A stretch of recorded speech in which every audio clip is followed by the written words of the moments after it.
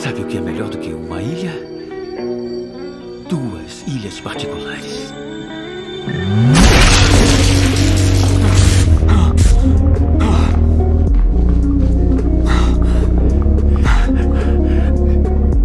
Tudo bem, devolva. Devolva.